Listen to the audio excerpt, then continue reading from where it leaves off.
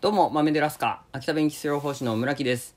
来ながら今日にかけてだば、沿岸も含めて雪っこすったけ積もったべども大丈夫ですが、雪かきさねばねしてなんとも酔いで願ったすべ。んだどもまだ安心できね。番組のうちね、まだ冬型の気圧配置だから、明日の朝間までだば、まだ雪っこ降れんた天気。さっとこ積もるべから、明日の朝まだば雪かき必要なるべな。んだども、明日の日中だば西日本さ高気圧進んでくるんですよ。そういえばなんとなんねやっていうと南からあったけえ空気入ってくるんだな。